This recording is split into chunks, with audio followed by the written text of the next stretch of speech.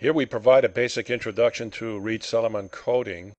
Reed-Solomon coding is very important in wireless communications. For example, in 802.16 2004, it is used as the outer coding for the concatenated code and an important attribute of Reed-Solomon coding is that it can correct for both random errors and bursty errors. A short history for Reed-Solomon codes. They were discovered in 1958 by Reed and Solomon at MIT Lincoln Labs. It was slightly modified and published in the SIAM Journal in 1960 by Reed and Solomon. A breakthrough in decoding Reed-Solomon codes was achieved in 1967 by Berlekamp. And we have the famous Berlekamp-Massey algorithm, which decodes Reed-Solomon codes with a complexity of order n squared, where n is the number of uh, coded symbols. The earliest use was by the military with a one byte error correction code for deep space telecommunications at around 1970. Interesting to note that Voyager 2 used a 255 byte length with a 223 byte information size Reed-Solomon code in 1977 that corrected 16 byte errors that was used in Voyager 2. Reed-Solomon coding is also used very successfully in CD-ROMs. It is now going to be widely used in WiMAX and 802.16-2004. It is used as the outer code in a concatenated encoding system in which the inner code is a convolutional encoder, usually with a Viterbi decoder. The fact that Reed-Solomon codes can correct for bursty errors is very important in wireless communication systems, and also because of the fact that in a concatenated encoding system, the Viterbi decoder if it can't correct for errors, would create a bursty error in which the outer code, which is a Reed-Solomon code, would then correct for the bursty errors, achieving uh, great improvement in performance in wireless communication systems. The subject of Reed-Solomon codes goes back to coding error correction codes in general, and there's a whole area in mathematics in modern algebra that you need quite a deep background on in order to understand error control coding. Uh, there's a great book by Richard Blahut called Theory and Practice of Error Control Codes, published back in 1983. And since we are not going to spend that much time on the rigorous mathematics and the derivations, the idea is to give an introduction, but we will work out examples so you get a good idea of how Reed-Solomon coding works. But the areas that we need to talk about deal with abelian groups and rings and fields. And of course, as we mentioned here, we just can't do justice in a very short tutorial. But here's a direct quote uh, from Blahut, and it says, loosely speaking, an abelian group is a set in which one can add and subtract. So if you have a set, say a set of elements, and you can define an addition and a subtraction, then that forms an abelian group. Then a ring is a set in which you can add, subtract, and multiply. So when you add multiply, multiplication, then you get the ring. And a field is a more powerful algebraic structure that we'll be dealing with, in which it is a set on which you can both add, subtract, multiply, and divide. So we are going to actually use the field of finite elements called a Galois field, and that's the basis of Reed-Solomon codes and BCH codes, cyclic codes, etc. Here are some examples of well-known fields in which, of course, uh, addition, subtraction, multiplication, and division are defined. For example, the set of real numbers, the set of complex numbers, and the set of rational numbers. For example, when you take two real numbers and multiply, you also get a real number which is part of the set. The same holds true for complex numbers, for example. Now, these fields have an infinite number of elements. Now, if you deal with a field with a finite number of elements, then you get into Galois fields, due to the French mathematician Galois.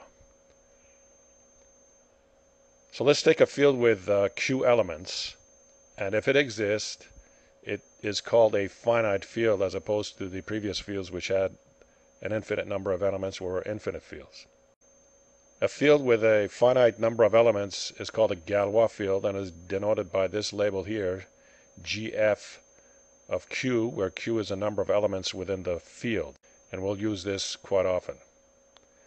So let's take a simple example of the Galois field for three elements. And the elements are 0, 1, and 2. And we'll define addition and multiplication on the Galois field of three elements. So in the case of addition, we have 0 plus 0 is 0. We have 1 plus 0 is 1, and 2 plus 0 is 2. But let's take a look at the case where we have, for example, 2 plus 2, then we get 1 similar to adding the elements modulo 3, but that is not the case. Actually, in Galois fields, we do addition and multiplication modulo a polynomial. But in this case, it turns out to be the same as modulo 3 addition. The same for multiplication. If we take 2 times 2, we get 4, and that, of course, modulo 3 is 1. Also, if we uh, multiply 1 by 2, we get uh, 2. So here we've defined the addition and multiplication, and we have a Galois field of three elements. A very important Galois field is of two elements, which is 0 and 1, which is the binary elements, and that is very important in our discussion of coding in general. Now here we're discussing the idea of prime polynomial. And in general, if you have a Galois field of q elements, and you can find a prime polynomial of degree n, then you can construct a Galois field with q to the n elements called an extension field. So let's take an example. Let's build a Galois field with four elements, or GF4, and 4 is 2 to the power of 2. So we'll build it from the Galois field for two elements using the prime polynomial p of x equals x squared plus x plus 1. Now remember that in Galois fields everything is done modulo the prime polynomial. So the idea is here, how do we find the elements in Galois field with four elements based on the Galois field with two elements which are corresponding to 0, 1 using the prime polynomial. Notice that the prime polynomial's degree has to match the n over here. So we got q equals 2 and n is equal to 2. So we got 2 to the 2, which is 4 elements. Now, this might seem a little confusing, but we'll get back to this. But let's for now find the elements of Galois field with 4 elements. Now, if you have representations for Galois field 4, we have a table over here, and we're going to show both a polynomial notation, a binary notation, an integer notation, and very importantly, an exponential notation.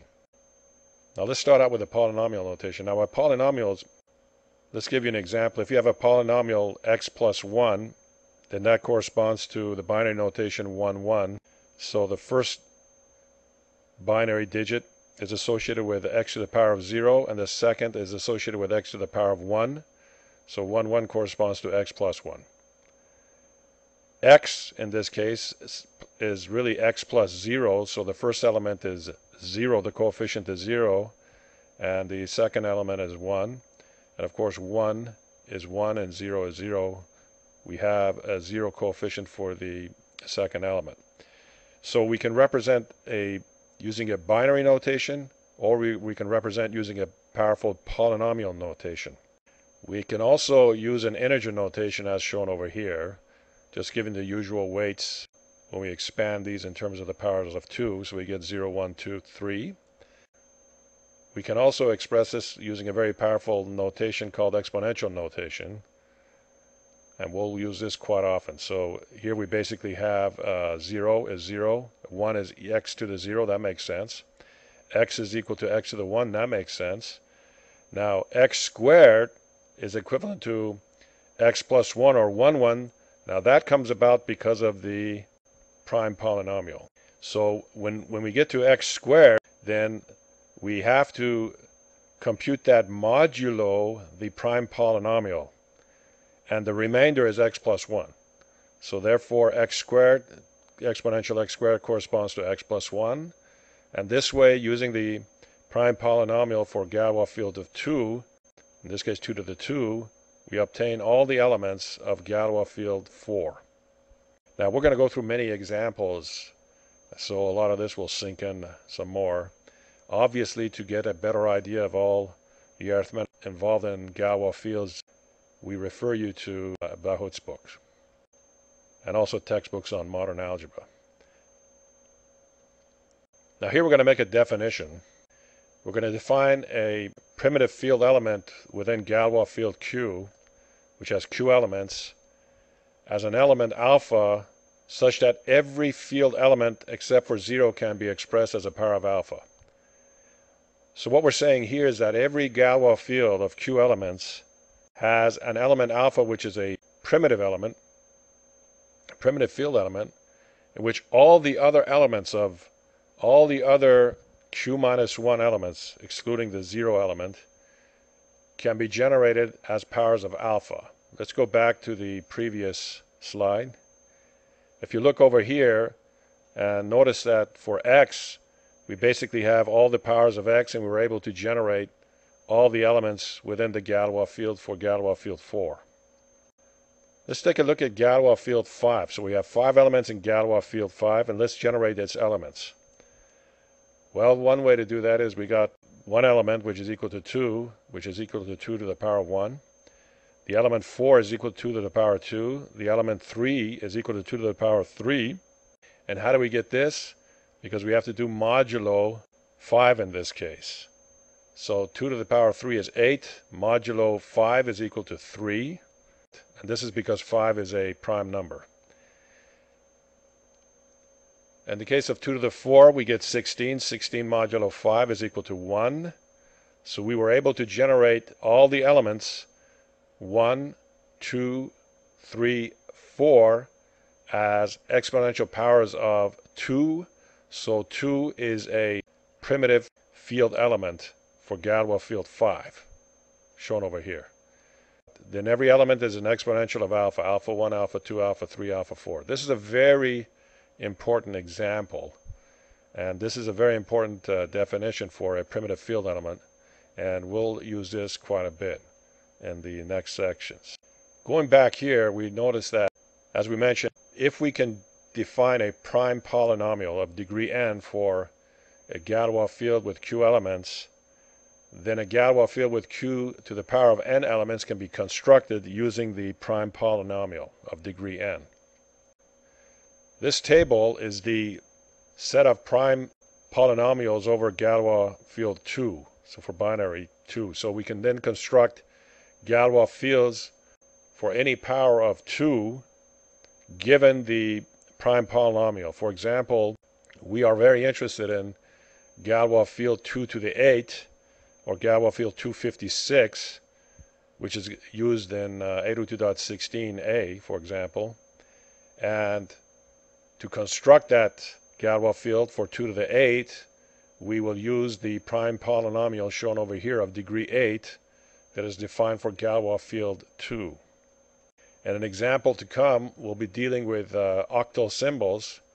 So we have uh, 2 to the 3 defining 8 elements and we'll use this prime polynomial of degree 3 shown over here. We've already used the prime polynomial x2 plus x plus 1 in constructing the Galois field for 4, which was equal to 2 to the 2, the degree being 2, so the primitive polynomial, the prime polynomial being x squared plus x plus 1. That was used in building Galois field 4, which is 2 to the 2, and we use that polynomial in order to construct all the elements of the finite field. Now, a very powerful tool in building code words from messages is to use polynomials, and in particular, we want to use the generator polynomial. So here we'll go through an example and hopefully shed some light on how polynomials are used not only to generate code words based on messages, but also to represent messages themselves and code words themselves. And let's take an example here we have a generator polynomial which is equal to x3 plus x plus 1. That's a generator polynomial. And we'll take the case where we're dealing with code words that are 7 bits long. Now the degree of the generator is 3. Therefore, and since the generator polynomial is going to be multiplied by the information polynomial to generate the code word, and that has degree 7, then the information polynomial is of degree k equal to 7 minus 3, which is equal to 4. So our messages are going to be 4 bits long, and we're going to map them to 7-bit long code words, and we'll do that through the generator polynomial shown over here. So let's take the case where the message is a 4-bit word shown over here, 0101. That can be represented as a polynomial, as x squared plus 1. Notice that for the 0th degree we got 1. We're missing x, so we put a 0 here. We have a coefficient of 1 for x2, so we have a 1 here. For x3 we have a coefficient of 0, so we have a 0 here. So these two are completely equivalent representations, either in terms of the binary number here or in terms of the polynomial. Now the way we encode the message mx using the generated polynomial gx is to simply multiply them. So if we multiply mx times gx, we get the code word c sub x. Now remember that mx's degree is equal to 4, gx's degree is equal to 3, so we get the code word with a polynomial of degree equal to equal to 7, which is as expected, because we're taking 4-bit message codes and mapping them into 7-bit code words.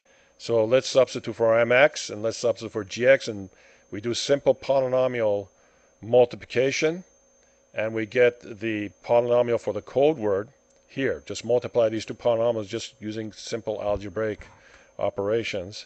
And let's represent this polynomial for the code word in terms of the binary representation. So for the zeroth degree, we have a coefficient of 1. For the first, we have 1. Second, we have 1.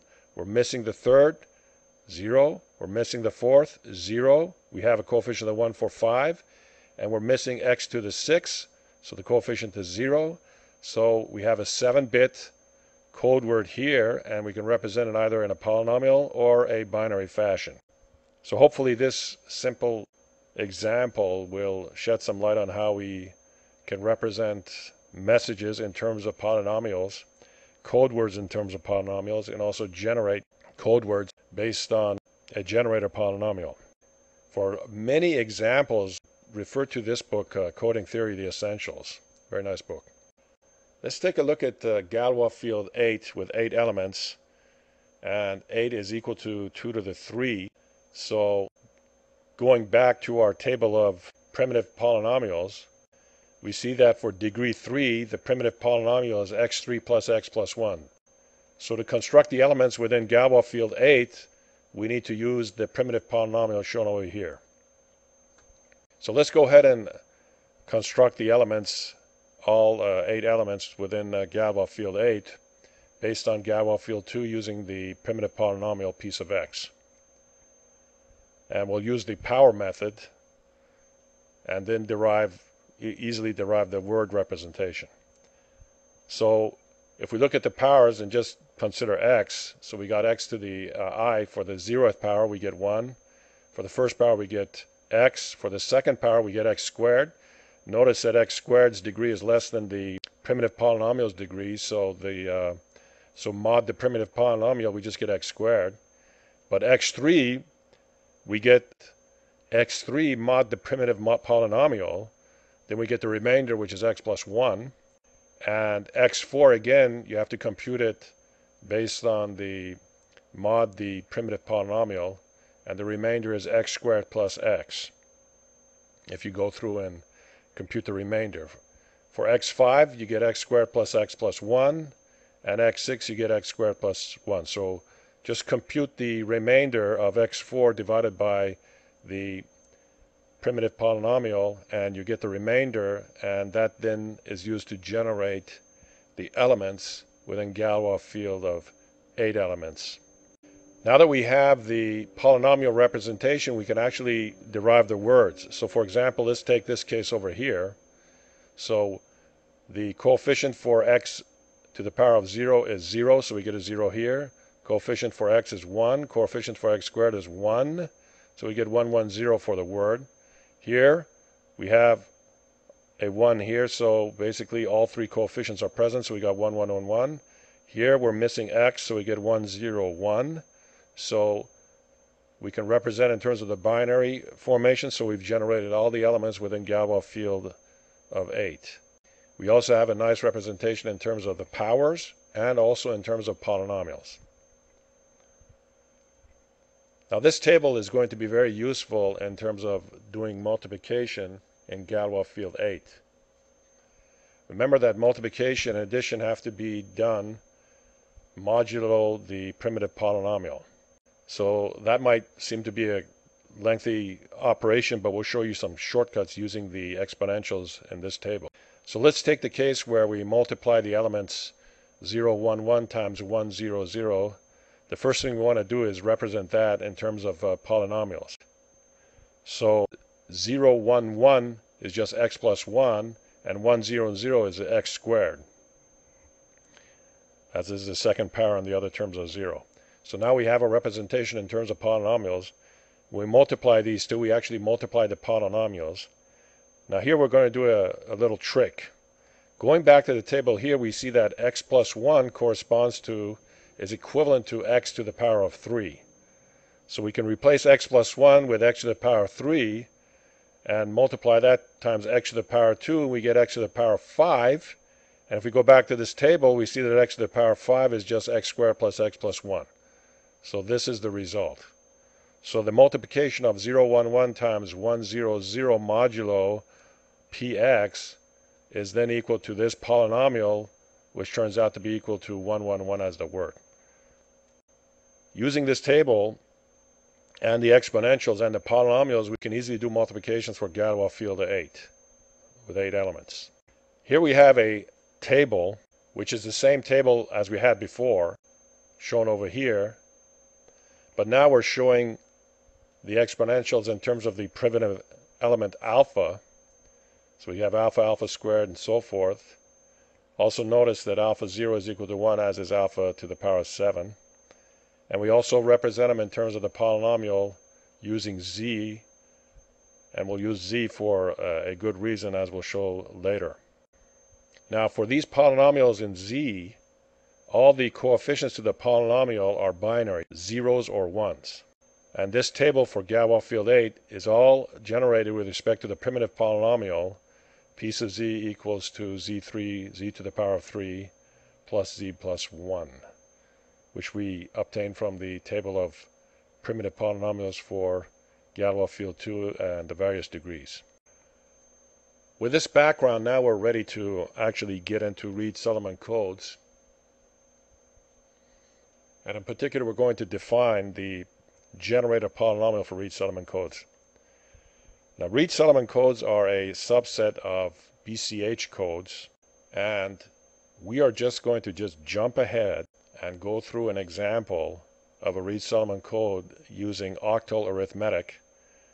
But in general, most of the things that we say here apply to, without any loss, to the generation of Reed-Solomon codes based on the Reed-Solomon uh, generate a polynomial as we'll show here.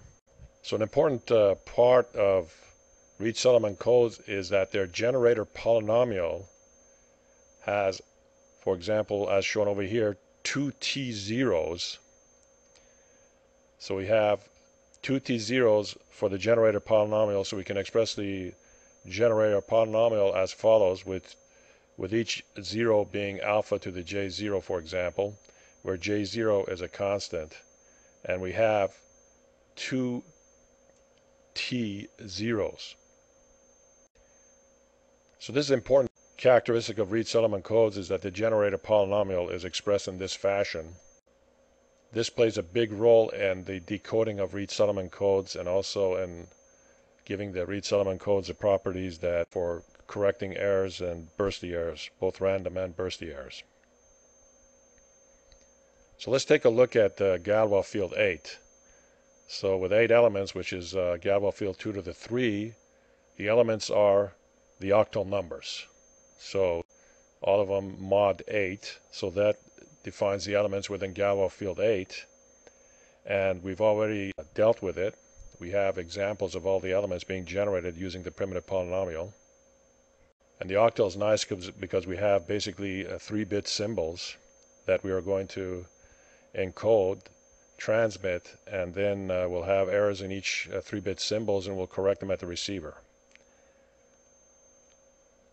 So let's take an example where we set J0 equals to 4 and T equals to 2. So then the generator polynomial becomes this expression over here. And you'll notice that we have four zeros corresponding to 2t. So if t is equal to 2, we, have twice that many zeros. And the zeros are uh, alpha to the power of 0, alpha to the power of 6, alpha to the power of 5, and alpha to the power of 4. So here we have a generator polynomial for Galois field 8 for Reed-Solomon codes.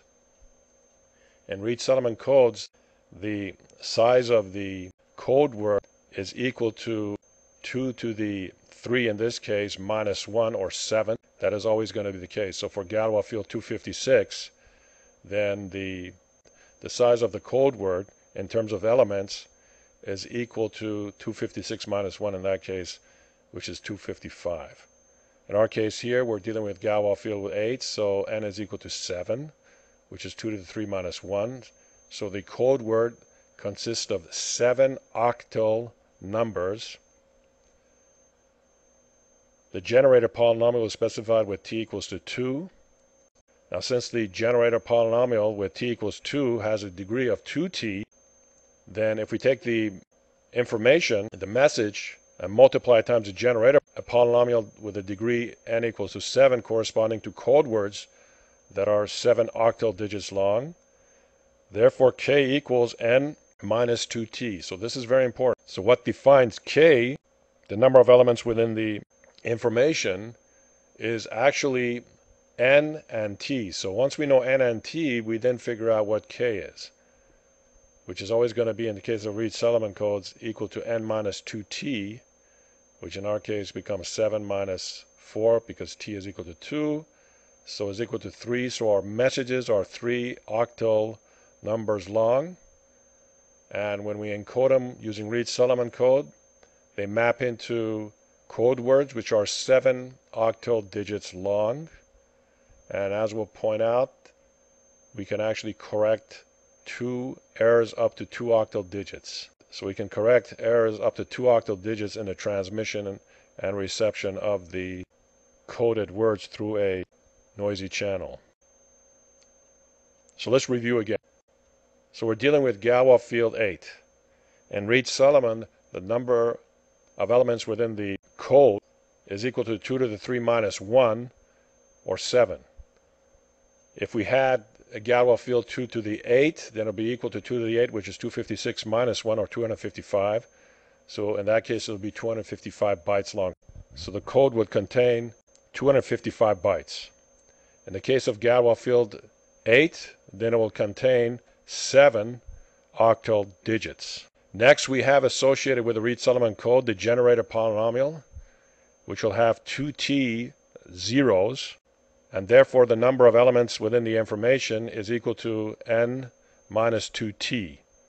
In our case, n is equal to 7, t is equal to 2, so we get that the size of the information is k equals to 7 minus 4 equals to 3 octal numbers. So we take three octal numbers representing information, using the generator polynomial, map those into 7 octal digits uh, for the coded information the Reed-Solomon coded information. All right, so here we have our generator polynomial, and it expressed in terms of the zeros. So here we actually explicitly show the zeros. We have four zeros, which are equal to the alpha to the power of 0, alpha to the power of 6, etc.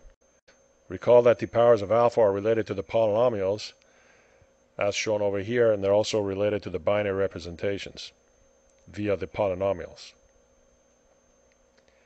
So let's go ahead and multiply through and this will be a labor intensive operation in order to come up with the compact formula for the generator polynomial. Once we have the generator polynomial then given three information octal information symbols then we'll be able to use the generator polynomial in order to generate the actual coded seven coded symbols for transmission using Reed-Solomon.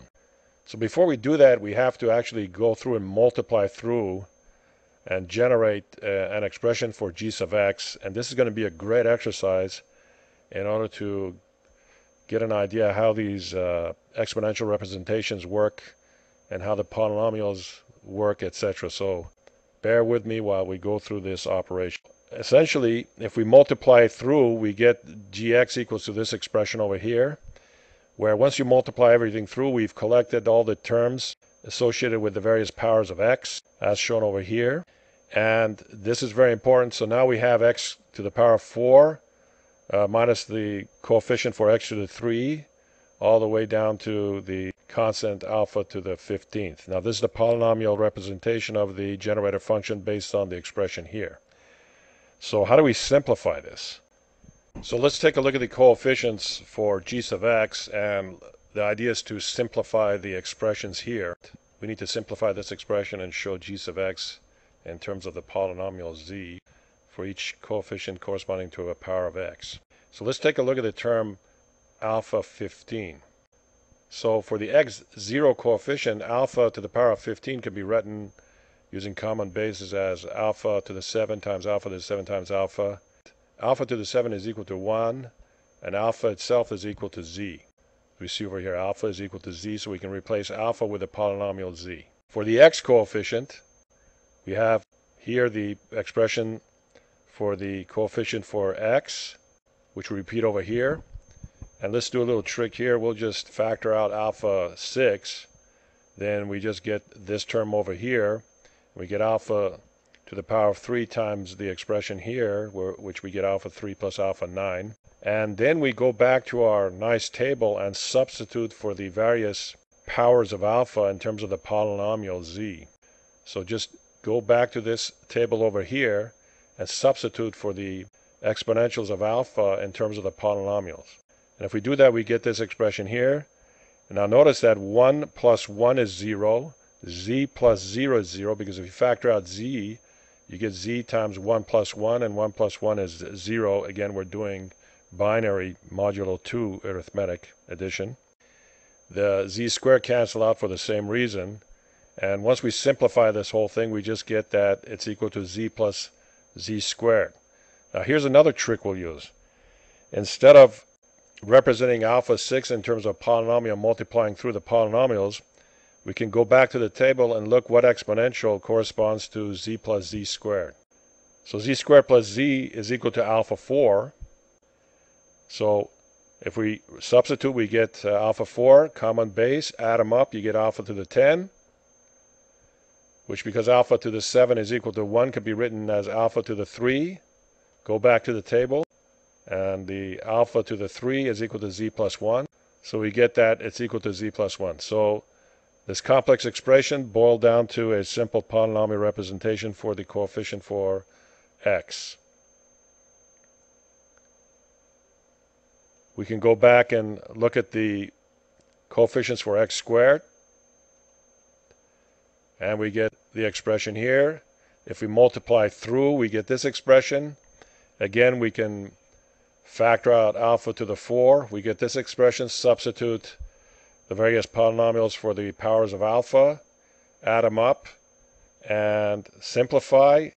Again, we get that the simplification results in a polynomial z to the squared. That corresponds to alpha squared. This becomes alpha 6. Go back to the table. Alpha to the 6 is equal to z squared plus 1. So this whole number of terms just reduced to z squared plus 1. So that's the coefficient corresponding to x squared.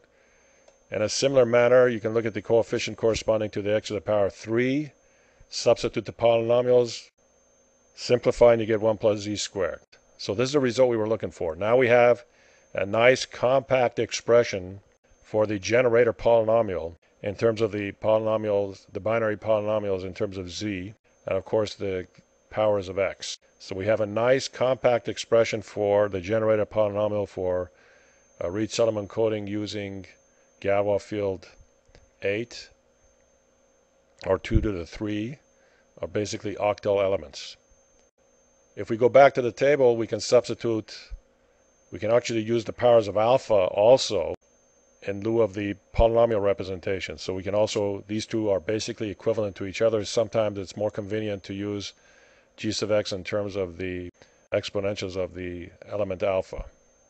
So let's go ahead and take a octal sequence, which we show over here, which is basically 110, 001, and 011, and using the generator polynomial shown over here, we want to encode those three octal numbers into seven octal numbers representing Reed-Solomon coding.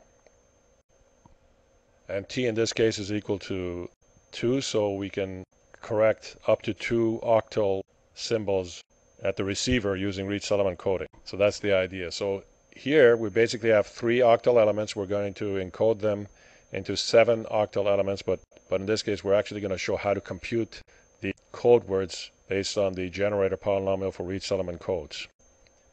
Also, we can represent the numbers either in binary form or in octal form as shown over here, modulo 8. So we have the three octal elements. Let's express those in terms of a polynomial. Since we have three, we'll have uh, our largest degree would be 2. The octal element associated with the second degree is z squared plus z which corresponds to 110 here. Again, the 1 for z squared, the 1 for z, and 0 because uh, we have z plus 0 over here. The coefficient for x is just 1, and the coefficient for x to the 0 is 0, 1, 1, which corresponds to z plus 1. So basically, we have a nice compact way of expressing the message in terms of a polynomial, information polynomial shown over here. We can also go back and use the table and express the polynomial in terms of the powers of alpha, a very compact form shown over here. Now the idea is to then use the generator polynomial and the information polynomial to generate the code word for Reed-Solomon coder. So the non-systematic code word polynomial is designated as c sub x, and we're going to generate that using the generator polynomial that we derived earlier. So we basically get that c sub x is equal to the information polynomial times the generator polynomial. So let's take a substitute for the information polynomial we have over here. Basically this expression over here. And times the generator polynomial which we derived earlier. Shown over here. So here's the expression for the generator polynomial. So we multiply them through, collect the terms for the various exponentials of x, Notice that the degree of the polynomial is maximum is equal to 6 in this case. We have that the code word is 7 octal digits long, and we've expressed it in terms of the polynomial. So now we need to derive what the actual octal digits are. So if we take a close look at this polynomial, uh, let's start out with the, uh, the first symbol, which corresponds to the uh, x to the power of 0, which is alpha to the 4. If we take a look at alpha to the 4, we can go back and look at the polynomial, we see that uh, for alpha 4, the polynomial representation is z squared plus z, which corresponds to, in the case of octal again, recall that we're dealing with uh, octal, corresponds to 110. So alpha 4 corresponds to 110. The second octal digit corresponds to the coefficient for x, and it's alpha 5. Let's take a look at what that is. So alpha 5 is z squared plus z plus 1, so we got 1, 1, 1, which is shown over here. The coefficient for x2 is 0 and x3 is 0, so those octal digits are equal to 0, 0. And we get for x4, we get alpha 6. Go back to the table again. Alpha 6 is z squared plus 1. That's 1, 0, because we're missing z, plus 1. So it's 1, 0, 1. Oh, shown over here. So if we complete that, we see that we can, based on the polynomial for the code word c sub x, we can actually extract the seven octal digits that form the Reed-Solomon code shown over here. And if we express them in terms of octal numbers, we get the seven octal digits shown over here. One, two, three, four, five, six, seven. Now the original message, which is incorporated into i sub x, was 613 shown over here, 613. So the three octal digits were mapped into seven octal digits for the code word. Recall n equals 7 and k was equal to 3. So we show that here n was 7, k was equal to 3, and t was equal to 2. 2t was equal to 7 minus 3. So 7 minus 3 was equal to 2t, then t was equal to 2. The number of octal digits we can correct at the receiver is equal to 2 digits. So this is a very nice example that shows how to obtain the code word for Reed-Solomon coding, in this case using octal, uh, from the information, the octal digits from the, that form the information, and we went through the process of generating the expression, the compact expression for the for the generator polynomial. We multiply that times the expression for the information polynomial and we get the polynomial for the code word which corresponds to the actual coded octal digits. Now in this part we want to show and that we can correct for t errors where again t is a key parameter in Reed-Solomon code. We specify n and we specify t, then the information bits k equals n minus 2t. So to begin with, let's take a look at the generator polynomial for Reed-Solomon codes. The generator polynomial has r zeros, where r is equals to 2t. We, go after, we actually have 2t zeros. And let's designate those uh, zeros as gamma 1 through gamma r. So g of gamma j is equal to 0 for j equals 1 through r, where r is the number of zeros, which corresponds to 2t in this case. We're going to let cx designate the code word polynomial, and e sub x is the error polynomial. So as we transmit cx through the channel, at the receiver we get v sub x, which contains an error polynomial. So the receiver receives a number of elements. For example, in our case, uh, for example, it was seven octal digits, but they've been corrupted by the channel, so they have errors. And the idea is to correct for those errors at the receiver using Reed-Solomon decoding process. And using polynomial notation is very compact and useful in this case. So one thing we can do is, very interestingly, is if we take the roots of g sub x, which were the elements gamma sub j, and we had r roots, so if we plug in a root gamma j into the expression here for the received corrupted code word, then we get, since these are polynomials, we just evaluate them for the zeros of the generator polynomial, in this case gamma j, and we get this expression here. Now by definition, c sub x is equal to g sub x times i sub x, where i sub x is actually the information and g sub x is the polynomial generator polynomial. And since gamma j is a zero of the generator polynomial, then c sub gamma j is equal to zero. Again, c sub x equals gx times i sub x. So for zero of the generator polynomial, g sub x is zero, so this term drops out, and we get the expression that if we evaluate the received corrupted code words using the element which corresponds to a zero of the generator function, then it's equal to this expression here.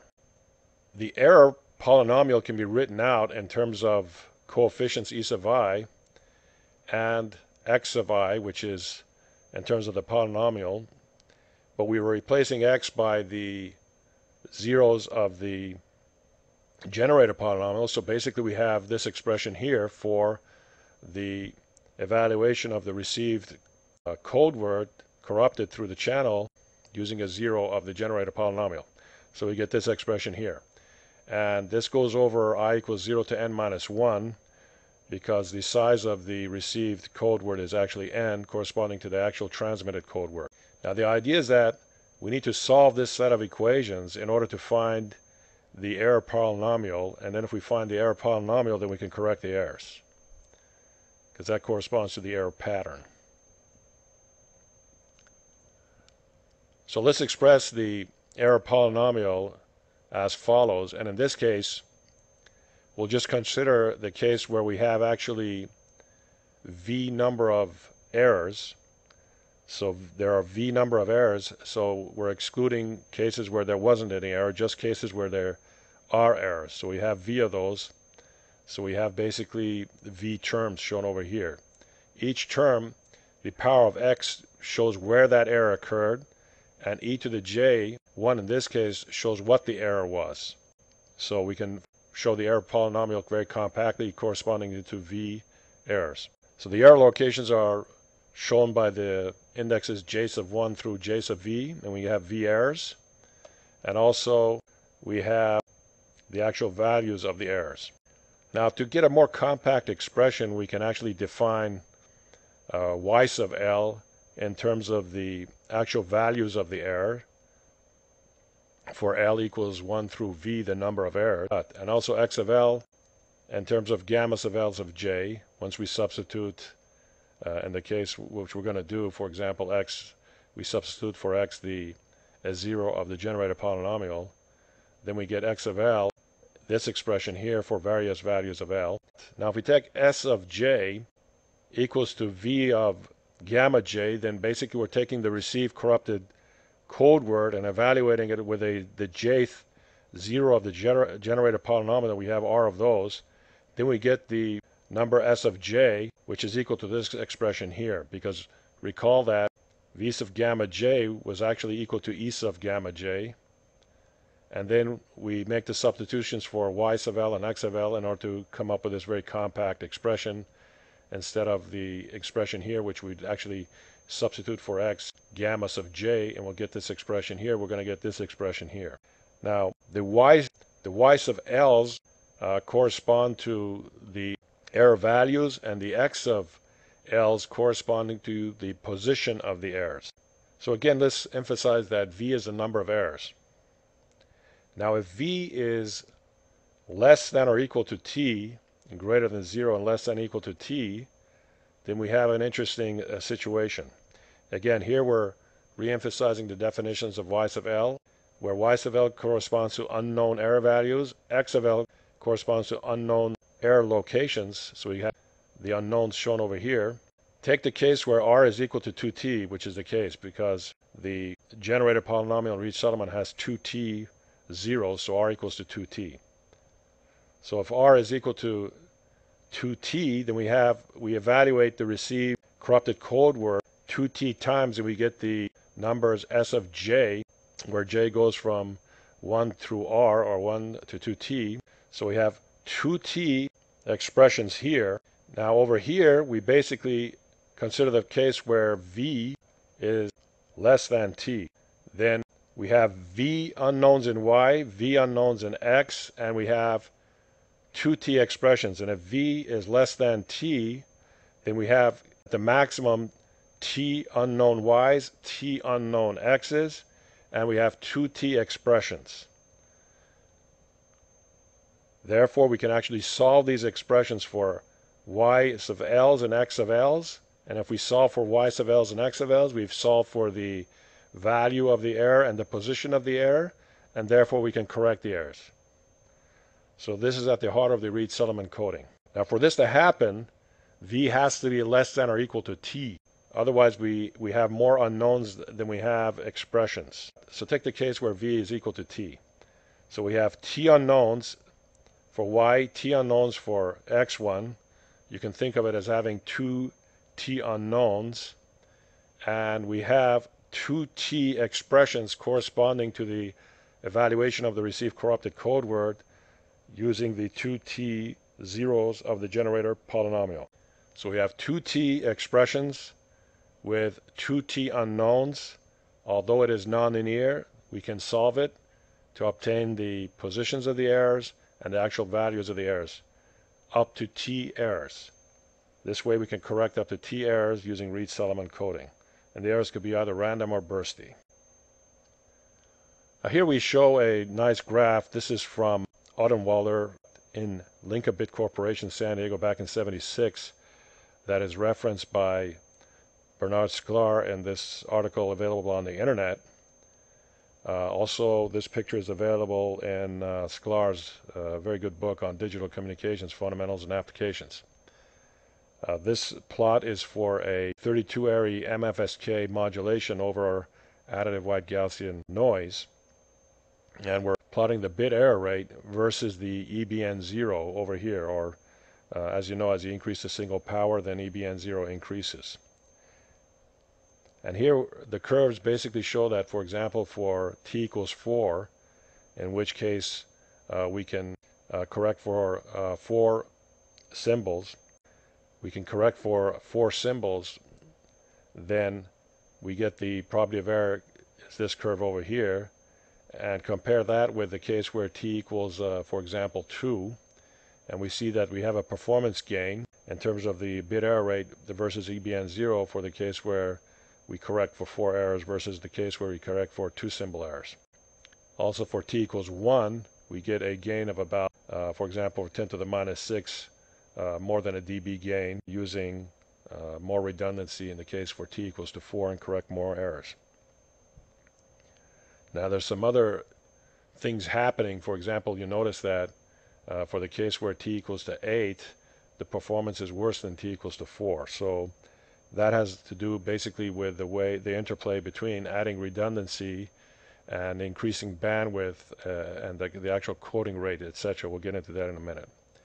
But basically, we're showing that uh, compare for the case where we correct for one uh, symbol, uh, where we can correct for four symbols, and even given the extra overhead, the expanded bandwidth, etc., we get uh, quite a bit of gain.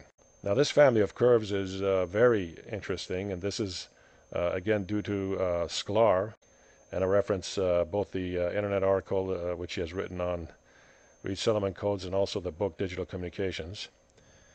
This is a very interesting set of curves. We're plotting basically EBN 0, which you can uh, think about in terms of uh, power. So the higher the EBN 0 is, the more power we, we require.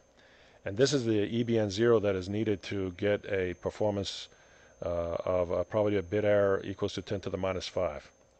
So in order to get to 10 to the minus 5, this is the EBN 0. We need to achieve that quality, 10 to the minus 5 bit error rate. This is versus the coding rate for the Reed-Solomon coding. Now to give you an idea, a coding rate of 1 means that basically we don't add any redundancy at all. So this is the case where we don't actually do any coding at all. And as the coding rate decreases, this means we're adding a lot of redundancy uh, to the code word in terms of the information in order to do uh, error correction at the receiver. Now the, these, these curves show a very interesting phenomenon. Let's take the case for additive white Gaussian noise, which is this curve over here. And you'll notice that uh, just to set this thing in perspective, uh, this is, by the way, very nice because it's done for BPSK, binary phase shift keying. Notice that uh, when the coding rate is equal to 1, meaning that we're not doing any coding at all, then we just have BPSK for additive white Gaussian noise. And for probability of error equals to 10 to the 5, we're basically getting an EBN 0 equals to close to 10. Now, as we start adding redundancy, and again, remember that we're actually increasing the bandwidth requirements, uh, we decrease the required EBN 0 to achieve 10 to the minus 5 bit error rate. So at this point here, this shows that with Reed-Solomon coding, for example, at around, with a code rate of around 0.6, we require much less power than the case where we use no coding at all. So by just adding Reed-Solomon coding to BPSK, we're able to reduce by close to 3 dBs the power requirements in order to meet our performance requirements, which was 10 to the minus 5. So for example, consider a deep space communication link or a satellite link. Basically what this says is if we add Reed-Solomon coding, rather than no coding at all, we can reduce the power requirements by 3 dB which is very important in uh, deep space communication in order to reduce the power requirement. Now, as we decrease the coding rate, which means we add more and more redundancy, we actually start to deteriorate in performance. And that is, we need more and more power in order to meet our objective of 10 to the minus 5 bit error rate. And this has to do with the fact that there's a point where when you add more redundancy, you're actually adding more bandwidth requirements, and there's a there's a point of diminishing returns. So this is a very interesting uh, curve over here. Uh, now this is very interesting also. Let's take a look at this curve over here. This is for Rayleigh fading channels, which we deal with, with a lot in terms of wireless communications.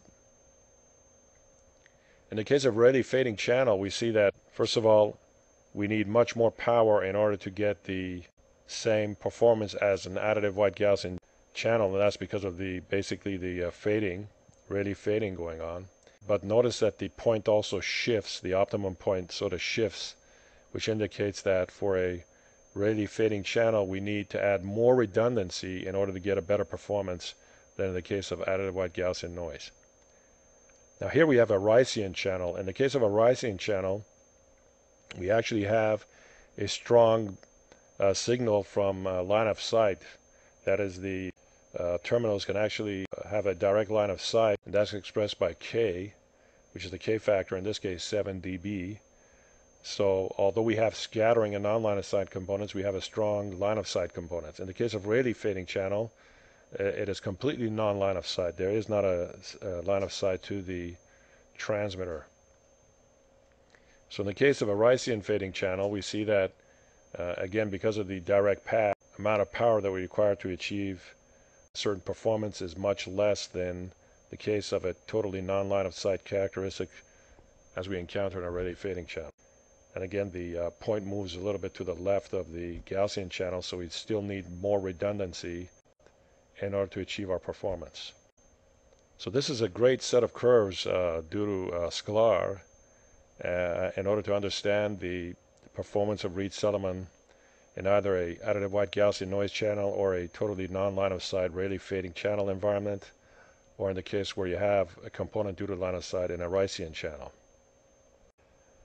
Also note that uh, in the case of an additive white Gaussian noise, when we use no coding at all, that is the code rate is equal to one, we're not adding, we're not doing Reed-Solomon coding and it's pure binary phase shift keying, that at 10 to the minus 5 uh, bit error rate, the EBN0 was close to 10. If you go back to this curve over here, which we derived, which we derived in the section on basic digital communications, we have the bit error rate probability for BPSK as a function of EBN0. And for a bit rate of 10 to the minus 5, we get about 10 dB of uh, EBN0, a value of 10 dB for EBN0, which corresponds to this point over here. So nice uh, correlation between the two results. For more information on the architecture and implementation of uh, Reed-Solomon coders and decoders, including issues related to VLSI, uh, see the following reference, Error Controlled Coding for Data Networks by uh, Irvin Reed and uh, Shen. Now, Reed is, the, of course, the original, uh, with Solomon, the original inventors of Reed-Solomon coding. And this book also has some nice worked examples uh, throughout.